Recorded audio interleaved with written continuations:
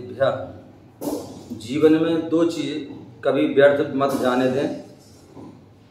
जीवन में दो चीज़ें व्यर्थ कभी ना जाने दें। उनके अर्थ को समझें, उनके सार को समझें और उसका उपयोग करें, उसका लाभ लें।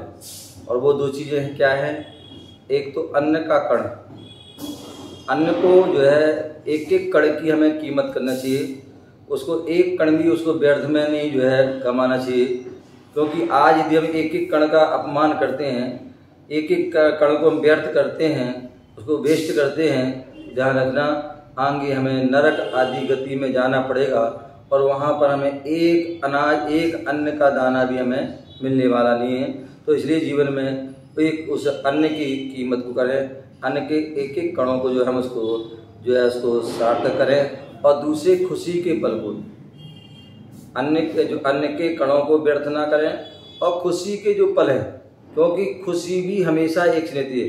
आज खुशी है, अभी है, अगले पल होगी, नहीं होगी, इसका कोई पता नहीं है। इसलिए दोनों को हम अन्न और जो है खुशी का जो पलों को हम जो है सार्थक करें और हमेशा मुस्कराते रहें, कभी अपने लिए और कभी अपनों के लिए। ओम नमः सिद्धि